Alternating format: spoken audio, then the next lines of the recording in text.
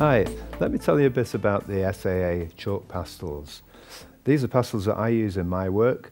There's a large range of lovely colours. They're all intermixable, interchangeable. They blend very well. They're firm. Some are slightly harder, slightly softer than others. Here's Deep Blue 5.